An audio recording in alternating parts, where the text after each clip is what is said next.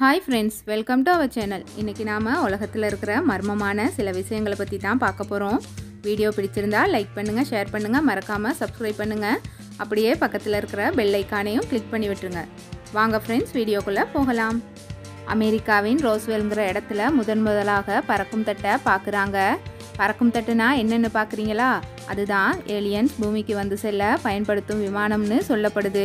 அந்த பறக்கும் தட்டை அடிக்கடி அமெரிக்காவில் உள்ள ரோஸ்வெல்ங்கிற இடத்துல மக்கள் பார்த்ததா சொல்கிறாங்க அதன் பிறகே ஏலியன்ஸ் இருக்கிறதா மக்களுக்கு ஒரு சந்தேகம் ஏற்படுது. இந்த பறக்கும் தட்டை கண்ட விஞ்ஞானிகள் ஏலியன்ஸ் இருப்பதற்கான வாய்ப்புகள் அதிகமாக காணப்படுதுன்னு சொல்கிறாங்க அதாவது லாஸ் ஏஞ்சல் என்ற இடத்துல இரண்டாம் உலக போர் நடைபெற்ற காலகட்டத்தில் ஒரு பறக்கும் தட்டை கண்டதாக அமெரிக்க அரசு கூறுது. இது அமெரிக்க இராணுவத்தின் அதிகாரப்பூர்வ இதழ்லையும் குறிப்பிடப்பட்டிருக்குது.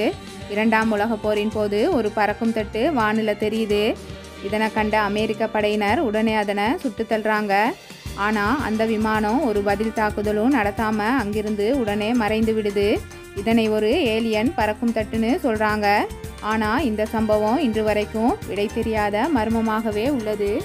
ஏரியா ஃபிஃப்டி ஒன் என்பது அமெரிக்காவில் உள்ள ஒரு மர்மமான இடமாகும். இந்த இடத்துல தான் அமெரிக்காவின் விமானப்படை அமைந்திருக்குது.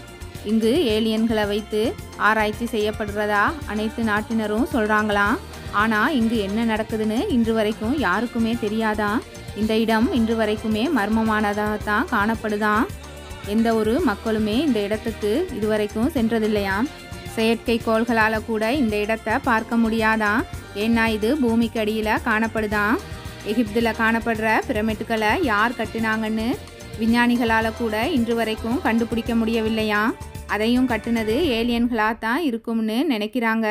அதுவும் இன்றளவும் மர்மமாகவே இருக்குது. ஏலியன்களை நாம் கண்களால் பார்க்கவில்லை என்றாலும் இந்த பிரபஞ்சத்தில் ஏதோ ஒரு இடத்துல ஏலியன்கள் வாழ்ந்து வருகிறது என்பது தெளிவாக தெரிகிறது. ஏலியன்கள் பார்க்கறதுக்கு மனிதர்களை போலவே இருக்கணும்னு அவசியம் கிடையாது. அவைகள் நம்ம விடவும் அழகாக கூட இருக்கலாம். மனிதர்களை விடவும் புத்திசாலியாகவும் இருக்கலாம்னு விஞ்ஞானிகள் சொல்கிறாங்க